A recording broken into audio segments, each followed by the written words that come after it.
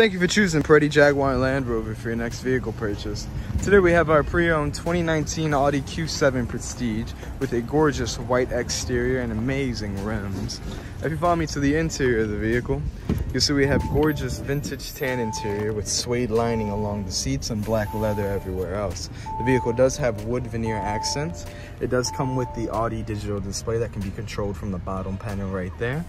In the center console, we do have a wireless charging station, as well as two USB 2.0 ports, one for Apple CarPlay, one for charging, and an aux cable. The vehicle does have heated and cooled front seats, as well as a full panoramic sunroof on the top.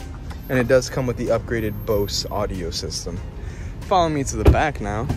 You see we have plenty of legroom back here, a continuation of that gorgeous clean brown leather vehicle does come with independent climate controls for your backseat passengers, as well as two 12 volt charging stations, and it does have heated back seats. Follow me to the trunk of the vehicle now. You'll see we have plenty of storage space. The vehicle does have a third row that can be electronically controlled. And we can put them down right now just to show you. With the seats down, you have a ridiculous amount of storage space for all those nice long family road trips.